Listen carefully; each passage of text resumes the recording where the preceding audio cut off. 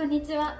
美容真相つるつるチャンネルのつるです。はい。ということで今回はくせ毛の方でもサラサラになっちゃうそんな方法をお伝えしていきます。その方法を4つお伝えするのでチャンネル登録して最後までご覧ください。それでは動画をどうぞ。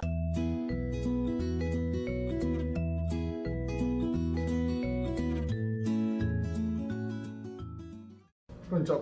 こんにちはえー、飛び入り参加で小川です。よろしくお願いします。よろしくお願いしますくせ毛ね、皆さん悩まれてるよね。そういう方多いですよね。多いです、まあ、癖毛にもいろんな種類があって、うん。まあ、たっくり分かれてしまう癖とかあ、生え癖ね。生え癖うんはい。とか、うんもう梅雨の時期とか特に皆さんうん多いとは思うんですが、ふわふわふわって広がってしまうっていう癖だったりとか、あ湿気を含んでね、広がるっていうことね。うんとかまとまらないとか、う。うんん、痛みが気になってわって毛先がなってしまうとかいろんな癖が、多いよね、くせ毛の。ね、多い元ですそうですね。で、結構皆さん悩みとしてね、大きいと思うんです。やっぱり髪が細くなったり薄くなったっていう悩み。あとはくせ毛で髪がまとまらないね。サラサラじゃないとかね。くせ毛になってくるとねやっぱりツヤが出て見えないわけじゃないですか、なのでそのツヤ感をどうにかしてってね皆さん思われるしまとまりが欲しいって思われますよね。4つお話をしていきます、はい。その4つの中でも、うん。癖が弱いものからどんどん強い順にうん対しての対策方法うんなるほどなるほをお伝えしようかなと思います、どじゃあお伝えしていきましょう。まず一つ目、お願いします。一つ目はあのブローです。はいはい。えブローかって今思いましたけど 思いましたね。で確かにそうなんですよ。ブローいい点と悪い点ってありますか？いい点なんでしょうかね。いい点としたら、はい。ドライヤーの熱だけで、うん。まあ、引っ張れば伸びる。サラサラになりますもんねブローするとね。絶対ツヤ出ますよね。でブローすると毛羽立ったキューティクルがやっぱり収まってくるんですよね。手ぐしやると手ぐしなりの収まり感ってあると思うんですけどブローするとねブラシのねやっぱり力でねすごい収まるんじゃないかなっていうふうに思いこのブローって言ったんですけど、まあ、ドライヤーでブーって当ててる時に手で引っ張るよりもこういったブラシを使った方が綺麗に伸びます、うん。うん美容師さんとかってサロン皆さん行かれた時みんなブラシを使って仕上げってよくされてると思います、はい。それはこの5つのこの指があると思うんです。がこの手を使ってやるよりもこのブラシの密になってるこのここですね。これ200本ぐらい大体あるんですよ。200本の指。を使った方が確実に綺麗に伸びます。はい。まあその手でこうやるとねキューティクルが一応これこれでね整っていくんですけどね、うん。それが5本か200本か。それ以外にブローもねあとテクニックありますよね。テンションをかけること。今ちょっと 出しちゃったんですけどこれこういうものがあるんですけどこれで髪を挟んで引っ張るんですね。そうですね、はい。でそうするともう髪の毛そのさっき言ったテンション力がかかるので綺麗に伸びると思いますブローの伸びる原理っていうのは力と熱ですね。それが均一にかかることによって、えー、綺麗に伸びるんじゃないかなと思います。でもブローのデメリットって教えてください。ブローのデメリット、はい。オーバードライとか、はい、そうですね。オーバードライもあると思います。ご自身で、ね、やるときに、えー、とドライどこまでやればいいのかってね分かりづらいじゃないですか。あと最大のデメリットは面倒くさいじゃないかなっていうのは思います。毎日毎日面倒くさい、そうですねそうそうそう。それが最大のデメリットじゃないかなと思います。じゃあ次に、えー、ともう一段階改善効果の高いもの。はい、2つ目の方法が次はアイロンですアイロン。はいはい。じゃんこちらですうん。なんでアイロンがいいかっていうと、まあ、さっきのブローに比べて、はい。こっちの方が格段にうん。ツヤが出やすい。なんでですか？キューティクルをうん。きれいに引き締めることによって、うん。天使の輪がはい。できます。ですね。うんあと熱っていうのがねポイントだと思います。さっきのブローでも、えっと、テンションと熱ってお話をさせてもらいましたけど熱がこっちの方が伝わりやすいってことですね、なのでツヤが出ると思います。でなんでツヤ出るんですか？キューティクルあの光の反射によってこお。う屈折が起きると思うんですけど、うん。それが均一であればあるほど、だったら、天使の輪ってきれいにできるじゃないですか。なるほど。それが、まあ、簡単に熱で引き締めることによってきれいにできるので。そういうことですね、はい。なんでキューティクルが毛羽だったりとかしている状態だと光が乱反射するんですね。なので綺麗なツヤが出ない。まあもちろん光が当たればツヤ出るんですけどボコボコしたツヤになる、だけどこれはキューティクルが整うことによって光が綺麗に反射をする。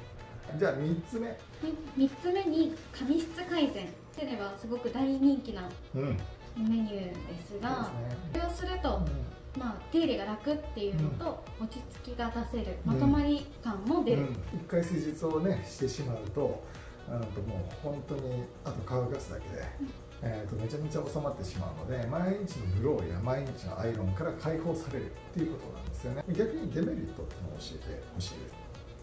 うん。っていうぐらいデメリット考えないと出てこないぐらいなんですけど実はまあ施術を受けるのにもしかしたら高額かもしれないっていうことですね。そそれはもう一つデメリットかなっていうふうに思います。でそのデメリットを1回でも乗り越えてしまえば、えっとまあ、半年間とかすごく収まるので、じゃあどっちがいいかっていうところ、まあ、比べないといけないと思うんですけど、まあ、自分はメリットの方が大きいんではないかなっていうのが髪質改善だと思います、はい、でこれも癖をね、えー収める。ツヤツヤに収めてツヤツヤにする一つの方法だと思います。でもう一個4つ目。宿毛矯正。宿毛ね矯正。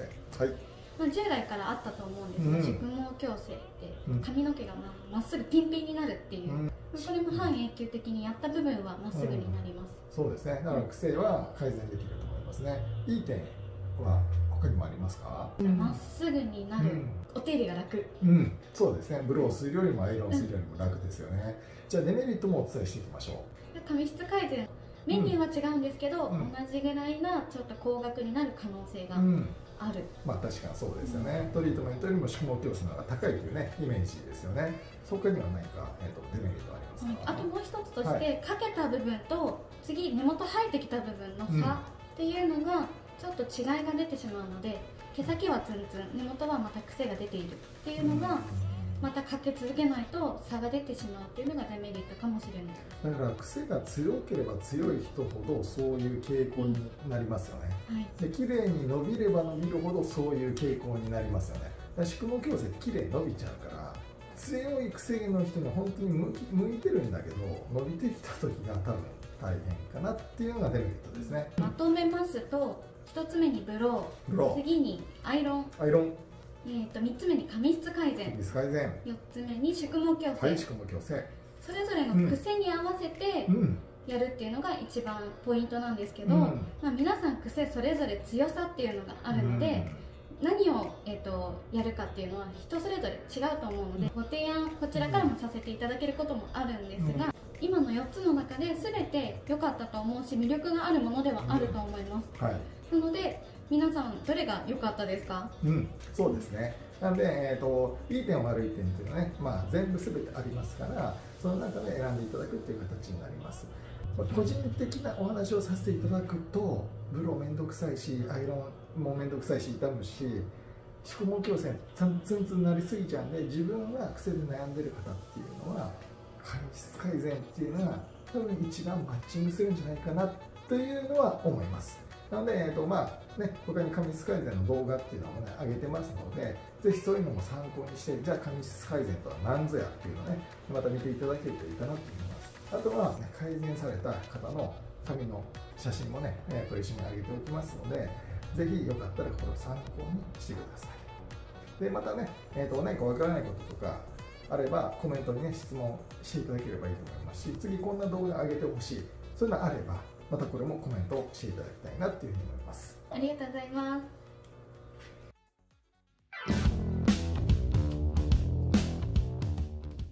はいいかがでしたでしょうか？本当にね癖毛で悩んでる方って本当に多くて当店でももう続々と癖毛で悩んでる方って見えられるんですね。4つの項目さっき挙げたものを参考にぜひ美容室に行ってみてください。最新情報と皆さんにお役立ち情報を上げていくので今後とも楽しみにご覧ください。それでは次回の動画でまたお会いしましょう。バイバイ。